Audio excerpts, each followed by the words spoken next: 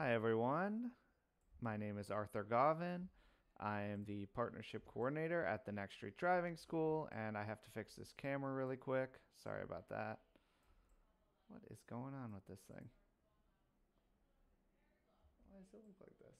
Well, you can kind of see me. All right. Yeah, I don't know what's going on with the camera right now.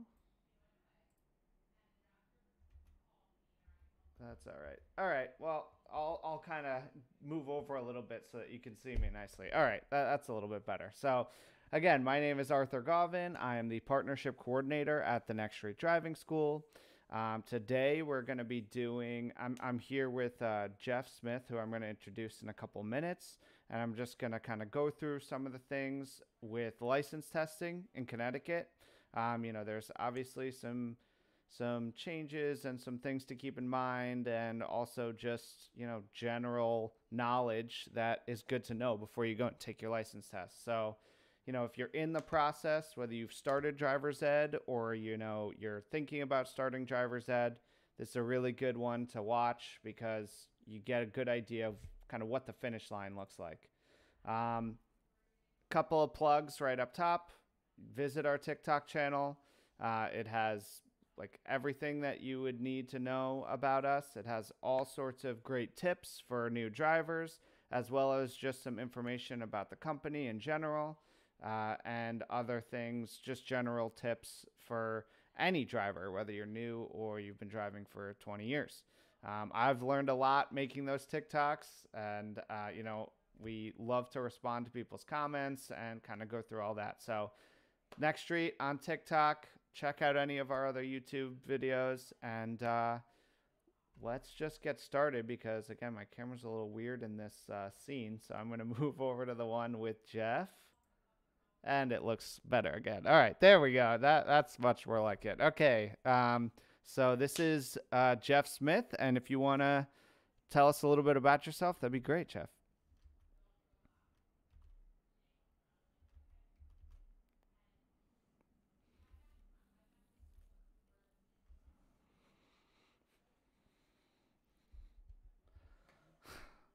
Wow.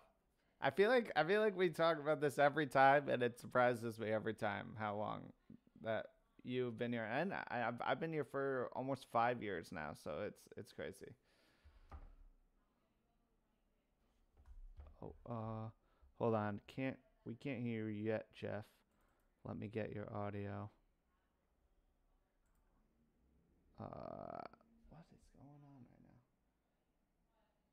Having all sorts of little funny issues, but that's just kind of kind of the deal. Okay, can you say something, Jeff? I'm Jeff Smith. Okay, there we go. All right. Yeah. Yeah. So All right. Why don't you uh you, you give that little intro one more time? Um, you know, you've been here. I, they kind of heard my half. You know, you've been here for Yeah. almost. Well, been yeah, I've been here quite a while. Time flies. Um, 2013, I think, is when I started as a licensed driving instructor. I still keep my license in, intact. I still get out with students every once in a while, but I'm uh, a bit more behind the scenes now with the license testing department and making sure that's running smoothly and things are going according to plan. Yeah, and we we talk can. about this all the time, but I actually was hired into the license uh, licensing uh, department when I first came on. You know, Jeff actually hired me, and I was a host for a while, so I do have a a little bit of knowledge. although I know some things have changed, so you know we're gonna talk about some of those things that are a little bit different from even you know pre-pandemic and all that because I know that there's it's actually for the most part just gotten a little bit easier um you know with some exceptions but you know we'll we'll we'll go through the some of the great positives that have come out of it. Um and uh yeah so now let's get into some of the questions so okay first of all when when is the best time to schedule your license test? So I, a lot of people ask this when they first get when they first sign up. They say, you know, should I schedule it right now or should I wait till I'm done with the class or what? So what what would you recommend? Well, that's a great time to ask for it because that's also the best time to take care of it and schedule it. The second you do have your permit, um, we can teach class to somebody without a permit, but we can't book the BTW hours, the behind the wheel drives and lessons without a permit date, and we can't book a test without the permit date, a permit issue date rather, because then we work uh, forwards. And again, eligibility is a little bit tricky, but depending on the class that you take, uh, and depending how old you are, if you're an adult, 18 and over, you just have to wait 90 days. But we can book your test outside that 90, right outside that 90 days, as long as you contact us with your permit issue date as soon after that, as soon as after you get it. Uh, for teenagers, 16 and 17 year olds, there's the option of doing the state minimum, which is the eight hour driving class. And then that would get you a license test date eligible um, 180 days later, six months later. And then if you take the full course, uh, which is 30 hours of class and eight hours of driving behind the wheel with the licensed driving instructor through the through us, um, you'd be able to test just in 120 days, four months. So it gives you not only a shorter eligibility date uh, to where you can test right after four months, but it also gives you that insurance break too, which helps out a lot. So because us and wherever you decide to test, whether it's through us or at the DMV, are booking out several months and um, getting your test on the books as soon as possible. You can always change it, you can always reschedule it, but getting it ahead of time as soon as you get that permit issue date, as soon as you get your permit, is the best option. That way, it's in the books. Like I said, you can change it later on.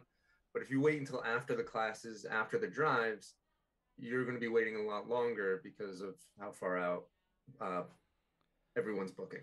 Yeah, yeah, because it, you know it's it's not just us; it's through the DMV. So you know we're we're a lot of the time with booking these tests, we're at the mercy of, the, or not a lot of time, we're always at the mercy of the DMV and how many tests that they can provide us. So, yeah, best course of action when you get your permit, sign up for the test. That's it. If you whether it's when you first sign up for your classes or after, sign up for your test immediately. And check out our playlist on our YouTube page that has how to navigate your student portal and signing up for a license test is on there as well. So that's a really good thing to do. You don't have to call in. You can just do it right on your student portal. But um, yeah, so just kind of uh, a little recap of those eligibility dates. So for 16 and 17 year olds, if you do the eight hour, it's 180 days, so six months. If you do the full course, then it is 120 days from when you got your permit. And if you're an adult, it's 90 days, regardless, right? Right. All right. So just keep that in mind. Um, get your permit. You know, uh, that's yeah. another thing. People people say like, "Well, do I need to do it before I start the classes?" And technically, you don't need to get your permit before you start classes, but yeah, get your permit as soon as you can. Exactly. It just, just helps with the timing. Yeah. And that's another thing too is schedule your permit. So that that's all done through the DMV, but I do we do have a lot of resources on that as well, including another webinar uh, where we go through the permit testing process and you want to sign up for that permit test. It it books out just as far as those license tests. So do it a few months before you turn 16 or as ma- as far ahead from when you turn 16 as you can because you want to just be able to take it either on or around your 16th birthday so that you can just have it. Um, okay, so on test day, what are some of the things? What what do you need to bring? Because you know, I know that if you go to the DMV, there's certain documents you need to bring, but what do you need to bring if you test at one of our locations?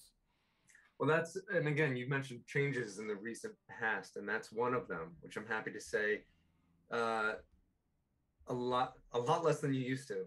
Um, when you come to just like when you come for behind the wheel lesson with us, you do need closed toed shoes, closed heel shoes, we're only taking tests in flip flops or sandals. Uh, not that people are thinking about that in the winter, but um, you definitely want a sneakers on.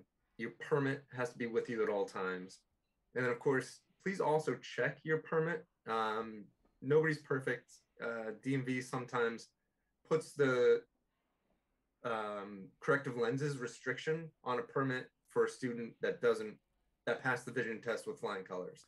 So we've heard of that occasionally. Just double check the permit. But if you do need corrective lenses, you of course have to have those on when driving at all times. Uh, that's why it's a restriction on your license for that. If you've since got, uh, you know, laser surgery to correct your eyes, you can go back to the DMV and get that. But until it's corrected on your permit or license, um, you would have to have that with you at all times. So they will check for that um, during our drives behind the wheel with our instructors. And of course, the DMV agent who administers the test uh, with us would be looking for that as well. Um, at the very current moment, there is a short testing application that we have you fill out at the time of the test. Uh, when testing with us, this is something that is going away um, in any week now. Um, DMV has come into the digital age, and uh, they Well, have the you know, it's only there. 2022, so Yeah. they've they've finally It's taken it's taken a while, but we have seen very impressive um, steps forward from the DMV to come into this age. DMV's agents uh, have the tablets that, um, and because of what we process ahead of time, they have the roster with all of the proper information of the people who are testing that day.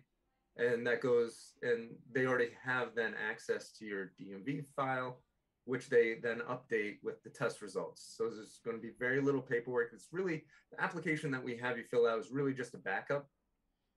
Um, everything is done through the portal and then it's updated later that evening. And so everything's really taken care of hands free.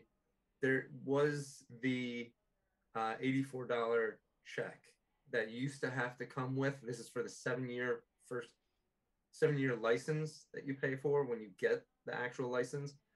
Um, that is actually done online now also. So when you come to the test, you don't need to bring any payment of any kind. The application again is just a, a safety measure that we have for now. And 24 hours after having passed the test, you will log on to the DMV website, a link that we will give you uh, at the time of the test. And then when you get there, you can pay the $84 for your seven year license, and it's mailed out to you immediately from that point. That's Uh, super it's- interesting about the payment option. That's I didn't know. yeah that. So again that's that's rec- that has changed recently so we don't we're no longer the middlemen for that. Um it's simply that you go on to log on to the dmv website when that evening 24 they, they ask for 24 hours please wait that time. Um and then they'll see that your account is completed and that you pass the test you pay the $84 they mail you that. Something again worth mentioning right now is that eh, the old i think when you were um, in the testing department arthur you had to hand over the test results to the closest dmv Yes. uh, you had to drive Yep. them to the after the test and then, and then the student had to go and pick it up. You know. yeah they had to go to that dmv and pick up their license three days later none of that is the case anymore and i'm happy to say that students can leave having passed the test at our testing location with a temporary license as long as they have the permit and actually this is the paper a little note card looking pe- Nice. piece of paper like this I'm along proud with you finally got your permit. is what equates to a temporary license for 30 days as you wait for the physical copy to come in the mail That So that's a lot of changes and uh, luckily not a lot you have to bring with you uh, Yeah, it seems like less and less each time you know we talk, which it's good because the Yeah. the forms, you know, yeah things are getting streamlined which is which is really nice that's great. Um, so when you so you're there, you have, um, you you, know, you're basically you have your permit, your glasses if you need them, closed-toed shoes, and the license testing application that we have right now. Um, and you're there. What happens when you get there? You know, who is there? What what's kind of the So process asked- there? so you schedule a time online or you can call in and we can help you with that but we ask you to get there 15 minutes early. And what we have, um, again, similar to what you used to do, Arthur, we have Mhm. somebody there, an experienced testing host, who will sit you down, sign you in, um, just ask a question or two there, um, and then talk to you about what the test is like. And this is the real benefit of testing. This is really what it's all about here at TNS. First of all, it's a one-on-one environment, right? Everybody's scheduled at a different time. Um, there may be a little bit of overlap, but if you come 15 minutes early, it will be a one-on-one that you have the chance to ask questions about, and more importantly, hear about what other students have done so far that day, which is not anything you could get anywhere else, right? If unless you're the first student of the day, Right. we can give you some idea of where you may go. But later on in the day, as students continue to go and we get that feedback, we learn what the DMV agent's been asking that day, where they've been taking students, and we can tell and prepare the next student that much better knowing that knowledge. That being said, there's nothing that is going to stop that DMV agent from changing things up during the very next test.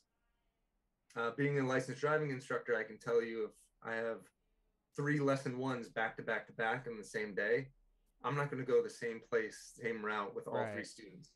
So the DMV agent, you know, whether they get bored or they just want to try it out or they're falling behind and want to speed things up with a new route, whatever the reason may be, they can change certain things.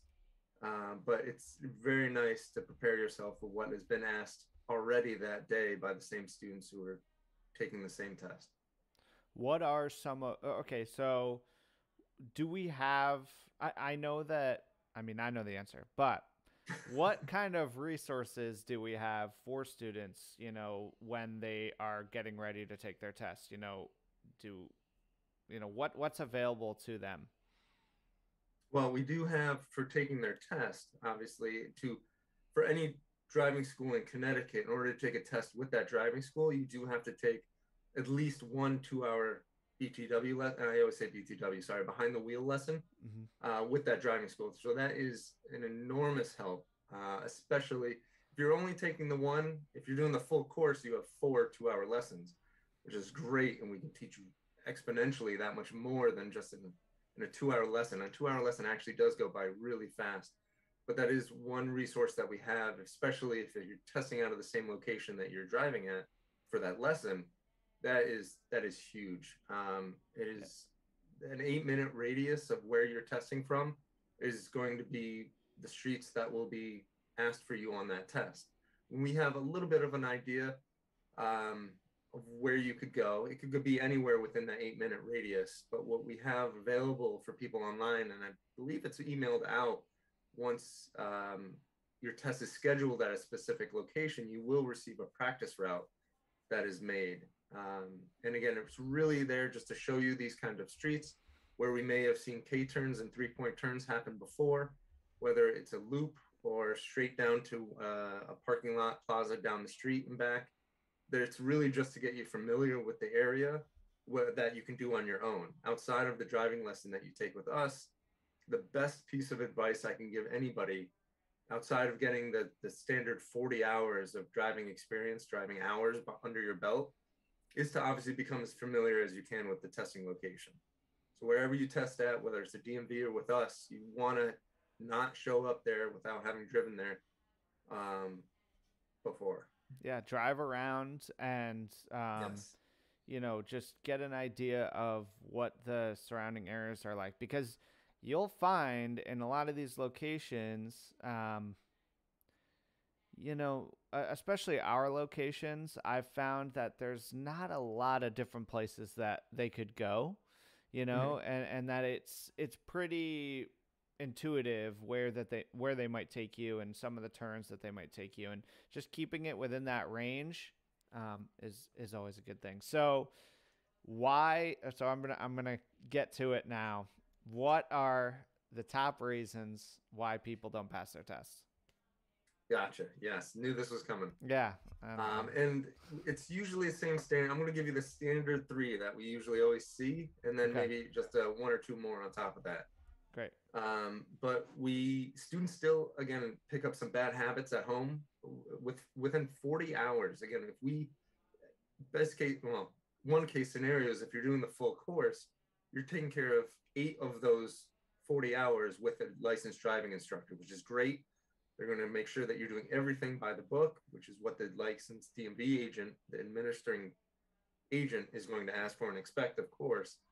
Um, outside of that, the other 32 hours are still time where the student may be picking up bad habits, one of which is obviously speeding.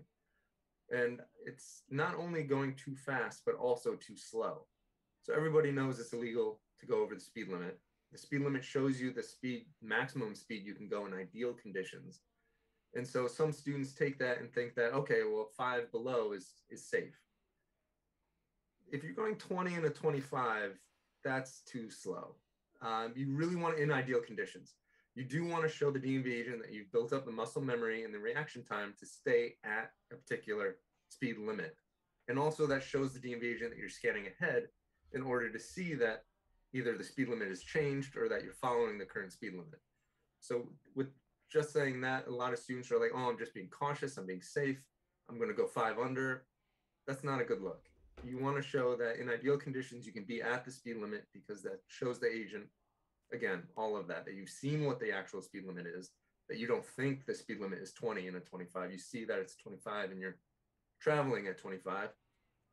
If you are one or two above, one or two below, if we're one or two above and you fluctuate and you come back down, that's not going to cause a problem. If you're consistently one or two below, again, not causing problem. If you're consistently three above, two above, and there's no fluctuation, you're steady at, you know, in this example, 27, 28 miles an hour, that's cause for alarm and that's breaking the law.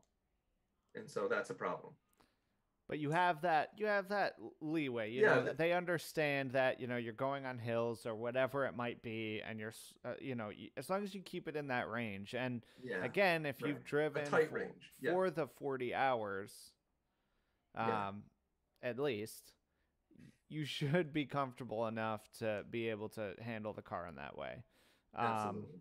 all right so speed you know everyone knows don't go fast but also don't go too slow Yes. um, one of my favorites to talk about is uh, running through, not, yeah, rolling through stop signs and right on reds. Yeah. So there's, of course, the legal stop, which is considered the full three second stop at zero miles an hour at the foot thick white stop line or at the actual, that's comes first. If there's no stop line, then you stop at the stop sign, right where the post is, you draw an imaginary line, and that's your legal stop. After that, you may very well need a safety stop, which is just creeping forward to see around a corner, a brick wall, a snowbank, a tree, whatever it may be. You do you can't make a safe turn out of let's say it's a parking lot without creeping forward a little bit, and that's your safety stop, right?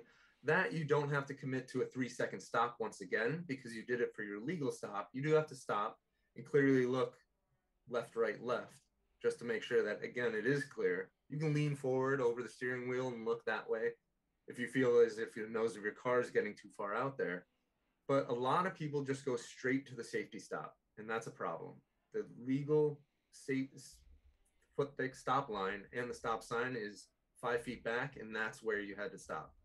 So you have to commit to both the legal stop at the stop sign or the stop line, and then the safety stop if one is needed right? So a lot of people just go straight up to the safety stop, knowing that they're rolling past the white line, but slowing down and stopping. It's that's illegal, and that again is a habit that a lot of people see at home that they just can't. They have to break that habit. And they have to first commit to the safety or yes, uh, legal stop, and then if needed, go to the safety stop. Same thing with right on reds um, a lot of people go up. This exact scenario plays out uh, every once in a while during our tests. Whereas if a student's in the right lane with three cars ahead of them, all turning right, and that's the intention, no right on red, there's not a sign saying you can't do it. So it's legal to do. Every car is just rolling through. I'm sure they're looking and they're taking their time, they're rolling, but each car is just rolling through that right on red and then it comes to the student and they do the exact same thing and what you need to do if in, you intend to turn right on red is treat it like a stop sign which is once again stopping for the full three seconds at zero miles an hour at that stop line. And then only if it's safe after that, continue to turn right.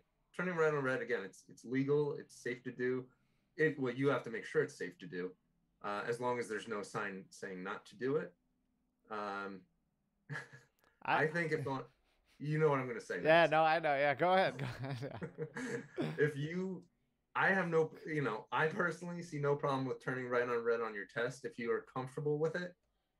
But every other instructor at the next street will tell you just don't turn right on red on your test. Yeah.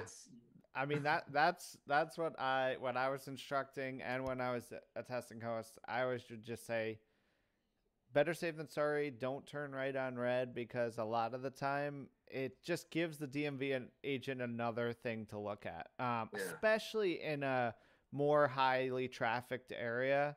You know, of course, if if it's very quiet in that area and you know you really feel comfortable and it, again you're allowed and it's fine as long as you do it legally but uh, i actually we made a tiktok about this and uh, we got a lot of uh, a lot of people who who disagreed. It was like, no, like you have to turn right or whatever. And I, and I was I was just saying, like, I mean, you know, hey, again, get comfortable with it because eventually you're gonna have to do it, you know, or not have to, you're but you're probably want gonna want to do it, you know. Yeah. But you know, don't don't feel like you have to. Um, yeah. Because again, as long as you're you know. It's, it's not a maneuver you're ever you know you're ever required to do and that for that reason the dmv agent shouldn't ask you to do it. Right. And it's only it will save you maybe a few seconds or maybe a minute if you do do it um, but there's no harm in in waiting for it. Um, all right so we got make sure you do a full stop behind the lines. You know if it's a stop sign you wait the three seconds behind the white line um, and then you can inch up if you need to and do your safety stop.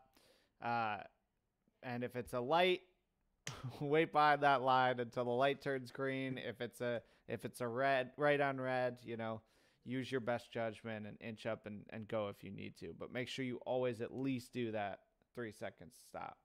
Yeah. Um, um yeah. And so the number one reason why students fail, and we again we we see we do still see this occasionally, is left turns at intersections. Yeah. So tr- with traffic light intersections, if you're turning left without a an arrow, a green arrow, then obviously you do have to wait for oncoming traffic who has the right of way. And there's a hundred thousand situations where the timing has to be exactly right. And that's what needs to be practiced at, both at home and obviously that's what we'll teach you in our driving lessons. But turning left, cutting off cars, or not going when you're supposed to is a indicator to the DMV agent that you're not ready to, to drive on your own. So whether it's, you know, you they have to recognize if you get a solid green, oncoming traffic has a solid green too.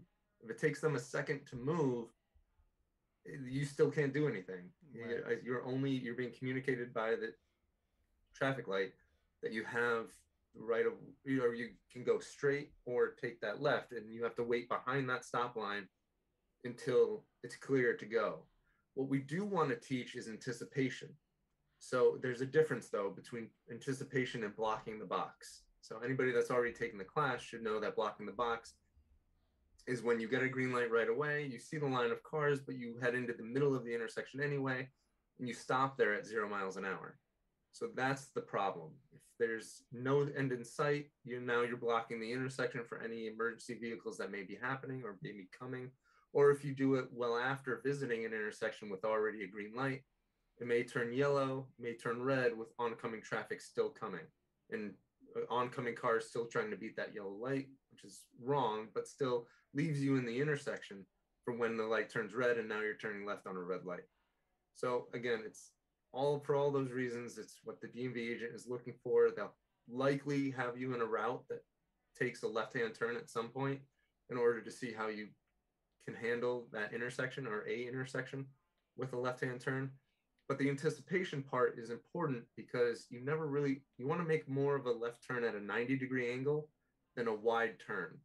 Again, for all the parents out there, please don't turn left right from that stop line. You want to proceed straight into the intersection for a little bit longer before then making that hard left turn. And that makes just much more cleaner lines You don't cut off anybody else's corners. Um, and with that last car coming, you know that you have to be in the middle of the intersection where you need to be to make that left hand turn. You can meet them out there in the middle as long as you don't stop at zero miles an hour. You're not breaking the law, but anticipating instead, and then taking that left hand turn when you need to.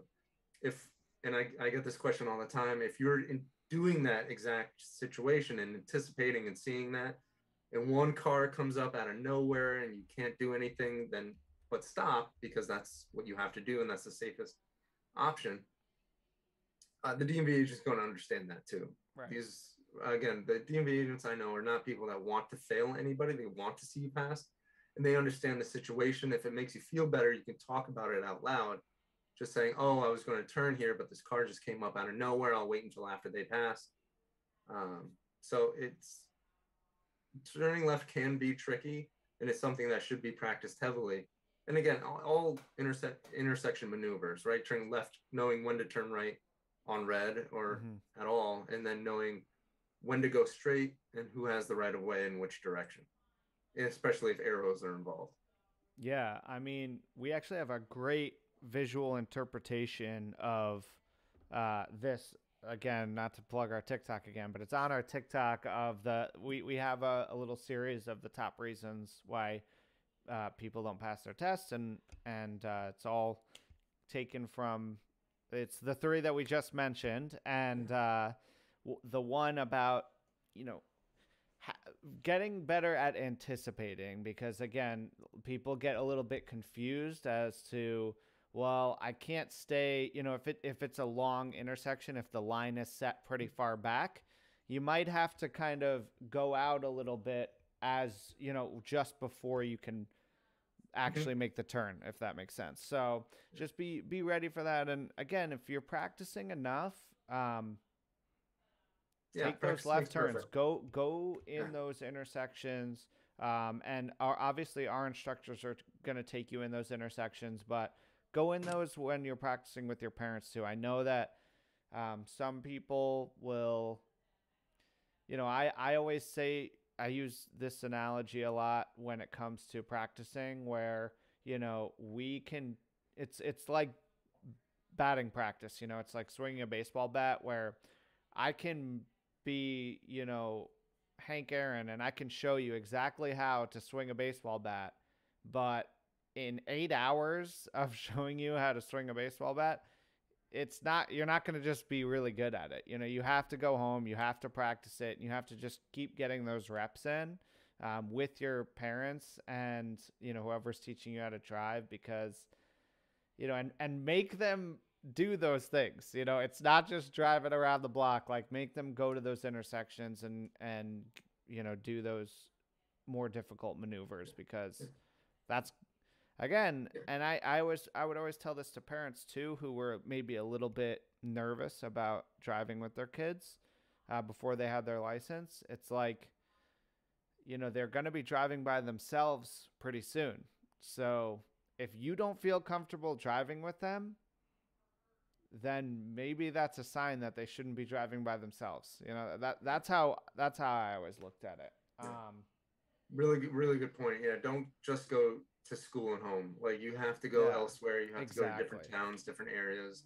You have to drive at night. You have to drive in the rain. You have to drive in snow if you can. If you Yeah. get that experience with a some experienced driving or driver next to you, that's exactly you know get that city driving in too. Get the highway driving. Get all of that in, um, and make sure that you we give you the checklist. We get we do a checklist when you drive with us give that back to you so you can look over what it was in and copy it and do those things again at home. Yeah. Uh, I do just want to add two more. yeah, yeah. list Go ahead. I. I know you had a couple more. Um, the backend is going to be asked of you on the test. So you know this going in. You have to practice it to where you can get it on the first try. You will have more than one try to tr- if you end up on a line. The DMV agents will give you another chance, not to start all over, but to correct what you've done. And but you know it's coming, so that should be no reason why you're not an expert at backing in by the time you take your test. Um, whether it's left back in, right back in, you do want to be proficient at parallel parking as well. Pulling in might be asked of you on the test too.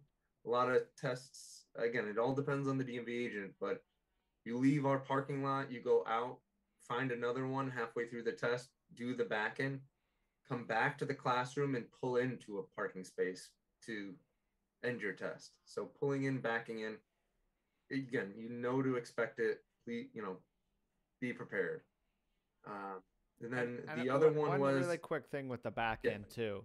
Um, again, we have a million resources on that as well. But what I was really gonna say was, um, you know, a lot of people maybe don't always see the the benefit of backing in after their test, you know, and backing into a spot is a really good thing to get especially if you're a newer driver is a really good thing to get in the habit of because especially in busy parking lots I, i'm a huge advocate. I, I was on a, a radio show uh, you know advocating for backing into spots because when you are leaving especially if it's like a mall or a busy parking lot there's a way I, I know people might get annoyed that you maybe hold up traffic for a second backing into a spot if there's someone behind you but it's a lot worse when you're backing out into a busy parking lot with you know you can't see most of the time. There's people who just kind of walk around and you know people just walking with their shopping carts not paying attention little kids all that stuff you get used to backing into places because also you never know where you're going to live because if i didn't know how to back in well where i live right now in the parking garage that i have to park in i would never I wouldn't be able to survive. I I, I have this little spot. It's in the corner, and if I couldn't back in, like I'd be done. So I don't know. Just just really get good at it and keep doing it. Um, but you know, also just don't. Jeff mentioned it. You know, try to get it on the first try, but you know, don't panic. And if you're on the line, because a lot of the time the DMV agent you know they're just people they're they're not evil they're not trying to fail you and a lot of the time they give you a little bit of a of a hint where they're like are you good you know you know if if you're on the line or something you know are you good then fix it if you feel like you need to and adjust it but don't start over that's that's a big thing Yeah, that's a, that's a good Slight that's a good one. Arthur. Yeah, if you you I totally forgot about that, but yes, don't admit that you're done unless you know you're in between the lines. Yeah, if they ask you, "Are you done?" and then they check and you're on the line, you won't get a second try after that. You need to know that you're in between the lines. That's a really good point, Arthur. Yeah um, Um, and I'll, I'll let you do the do the last Ju- one yeah, just really quick, the last one. A lot of people, a lot of students don't get the experience of an emergency vehicle or Mhm. or driving during while school buses are out. Yet, you know, our tests are for eight o'clock to one fifteen during the day. So you will come across some school buses Yep. and just randomly some emergency vehicles that, you know, in an already pressure filled 15 minute test, which is what our test's about 15 minutes um, they either freeze or don't react the way they should. And so, knowing the right way to interact with emergency vehicles, whether they're coming at you and you have to pull over, even though if they're not in your lane, or if they're coming up from behind you and you need to see them as soon as possible and react to that as well. Same thing with school buses. You know, that yellow lights mean that they're about to stop and that the stop sign's about to swing out. So prepare accordingly and know about that going into your test because we see it and some students just have either never experienced it or freeze up and it doesn't end well. So that's something that you want to know about. And again, you can't go out looking for those things really, but just know about it and be prepared. And that way, if it happens on your test, you you'll know how to res- respond. Yeah, and again, get used to, uh, along with the school buses, is just school zones in general.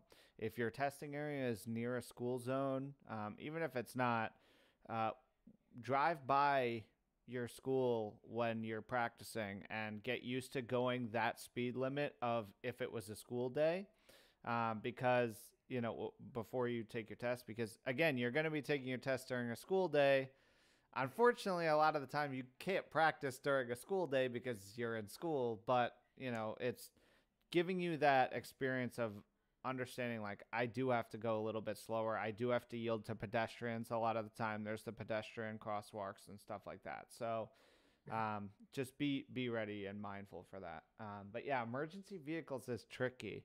You know, it's uh, Yeah. it's it's a tricky one, but you knowing that you have to pull over, whether it's coming at you or from behind you, Yeah. just be ready for That's- that. And and also, you know, I, I I remember I would get told this all the time where it's like when there's one emergency vehicle, there's very likely to be another one, you know, and don't just sit there waiting for another one, but be prepared to pull over again if you need to. Yeah. Um all right. So let's see. Uh how do you uh, we, we kind of talked about this a little bit, but how do you actually sign up for a test with us, you know, and uh, and and take a test at our location? Yeah, if you are, whether you're doing, you can call in and we'll walk you through it step by step. Um, but we also encourage you to go online through um, our website, and everything is there in order for you to click on, and ask, and the details are in descriptions are in there.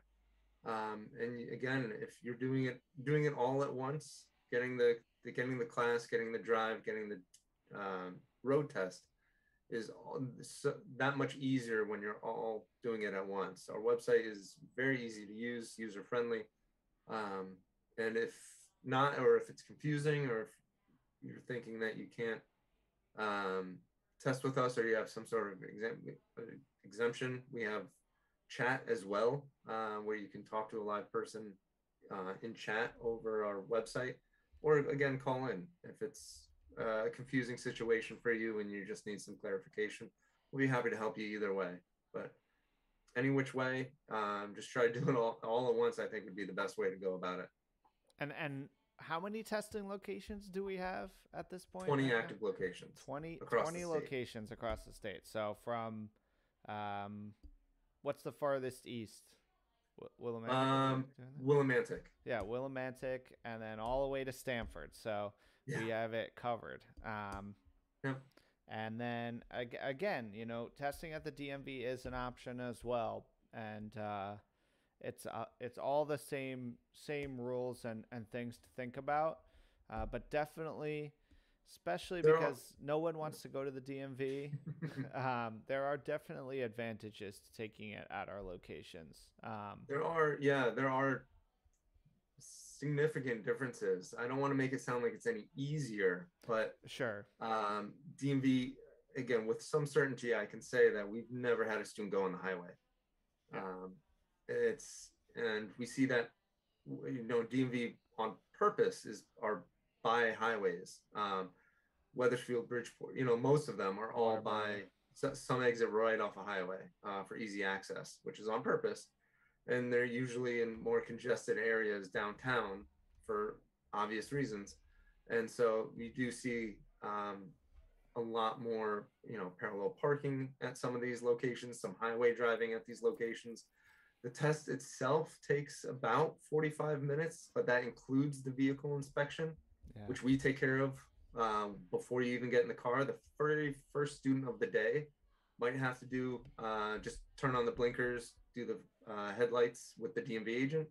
After that, the DMV agent's not it's not part of the test. After that, right? The DMV agent is going to sit in the car. If you're testing at the next street, they're going to sit in the passenger seat. We're going to round robin students, and each test is, like I said, right about 15 minutes, um, including the uh, at the DMV branch, including the vehicle inspection and everything that goes. It could be anywhere from a half an hour to 45 minutes typically. And one, uh, uh, just a couple other great things about, um, you know, when you test at our location compared to the DMV. Um, at our locations, the DMV agent tells you right then and there in the car. A lot of the times, in my experience, when we would go Mhm. to the DMVs, um, they would get back, they'd go back in the office, they'd make you wait. I don't know why, but they would make the student wait for, you know, Yeah. five to ten minutes and then come back out and tell you so you're also you, you know you eliminate that you you know right away and um you know it, another big thing too. Using one of our cars is a huge advantage for you. It gives you one major less thing to worry about mm-hmm. because passing that DMV inspection, um, they're pretty particular with with certain things. You know, you can't have any tint on any window. So that that is a big thing that people don't even realize that they have a tint until they go and then the DMV says, "No, you can't test with this." Or, you know, if there's any sort of light on or or the, there's just certain things and um when they test in our car, they have that passenger brake they generally mm. feel a little bit more comfortable. I mean, just think about if you were going to test someone and take them out for their license test, you've never met them, you have no idea if they can drive or not. Having that brake gives you a little bit of ease, you know, and it'll probably make you a little bit happier. Um, and again, that I and I know Jeff can can talk on this too, but you know, they are they are just human and they they don't want you to fail. You know, they they're there to just make sure that you're a safe driver and that, you know, you're not it, it, they cuz it's ultimately they're responsible for putting for giving you the opportunity to drive on the road. So they want to make sure that they're putting someone out there who who deserves it. So just try to kind of put yourselves in their shoes and um and just understand that you know just just drive like you've been driving and and you're ready. You know, this isn't the yeah. test that you that you didn't study for. You know, this is something that you're ready for. Um, so, Jeff, did you have any other things that you wanted to talk about or kind of close with before we we ended? Um, no, I think we're. I think we covered uh most everything. Yeah. Um, um like I said, we do have more dates coming. Yeah. Um, we do. If you're looking for an earlier test date, we do have students switch off often, uh, whether they decide that they need more time or they're just feeling under the weather at the moment. We do get students last minute switching off a test. So feel free to continue to look, whether it's booked now or you're and you're or you're just not booked and don't see anything and waiting for the next opening. We do see movement on those um, on those on the schedule. So we so continue to look. Uh, we do have a waiting list on the website if you're in that, you may get uh, a few more emails or even phone calls if we have late openings uh, for a location that you're looking for. Yeah, and and also all of our social medias. Whenever there's you know any sort of big openings, uh, we always are are up to date and posting things about you know openings for for tests and last minute last minute things like that. So you know, look out for those things. And Jeff, thank you so much. Uh, as always, it's welcome. it's great to talk to you.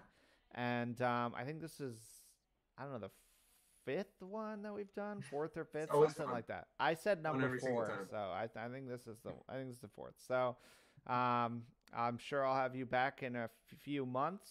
And if you missed any of this, you know, if you're tuning in right now or you tuned in late, it's going to be automatically uploaded to our YouTube and Facebook right away, so you can rewatch it.